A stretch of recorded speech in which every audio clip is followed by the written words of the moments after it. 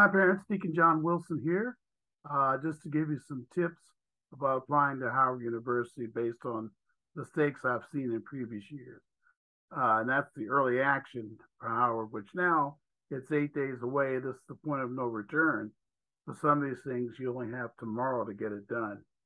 Um, and we'll talk about that in a minute. Before I do that, something that's true about all these early action schools. Sometimes your students just trying to apply to too many. And if they have a lot of supplemental essays, you really dilute the quality pretty badly, particularly if they're doing it on their own. And I mean, if they're working with a counselor, it's pretty much doing it on their own. Um, you know, we might be able to help, but it's a little late. You can check with us. But that's a real problem. So really, I like to see students have two, maybe three early action schools.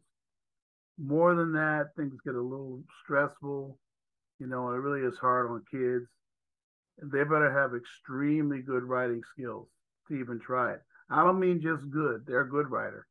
Um, they have to be able to adjust their writing to college essays and not do a creative writing thing or something that doesn't, it's difficult to answer the question. So don't have them do too many, please, parents. Now let's talk about Howard University. The early, act, early action application is due everything complete, meaning the transcripts have to be in, transcripts have to be in, and any SAT scores should be like the scores from the November test should be addressed by in the application. You're saying you're going to take it in November. Uh, you should probably send your earlier scores so you, you can show growth in your scores. If you're going to take the December test, there still is just enough time for Howard to see them. Uh, but you have to tell them in the application.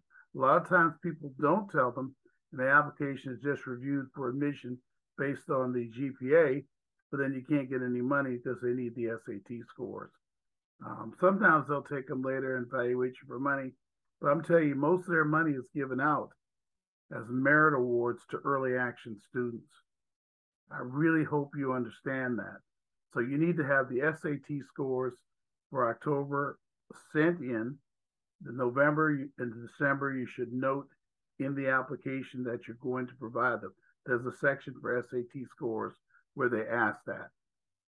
Then third, you need to get the application in on time.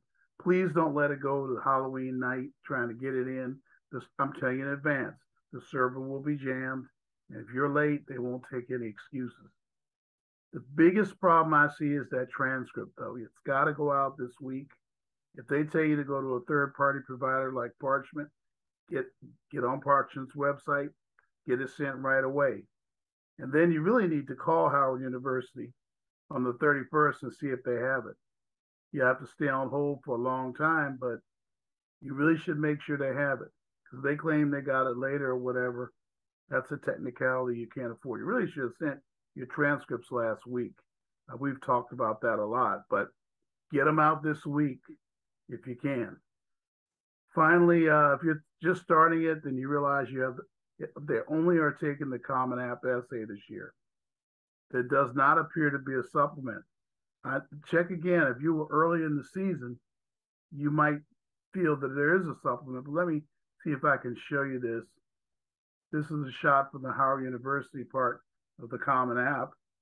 If you go all the way to the bottom, it specifically says this college does not use a writing supplement for any additional writing requirements.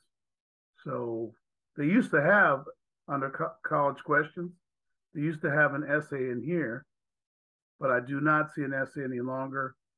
Uh, we tried it with early action, regular action, we put in different majors and we did not see it. I bet for certain majors they'll email you for additional writing.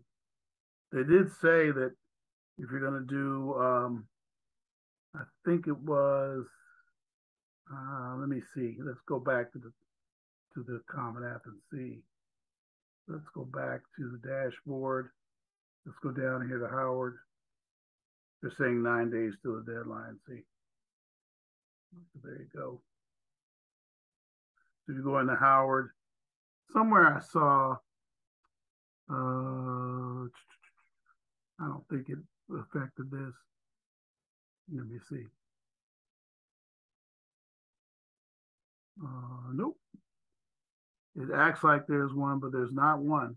Now I'll check with Howard. I'll sure let you know, but you just need to get that common app, that common app essay done. We could help you get started, but you need to hurry up and get that done. There's a lot of people applying to Howard this year, and they definitely will cut off if people are late. All right, I hope that helps you. I'll be doing a number of other short videos on other aspects of the process that are that are uh, relevant right now. Okay, uh, have any questions, as always, get a hold of me. You have my email address, holythinkers at gmail.com. God bless you. Thank you very much. Bye bye now.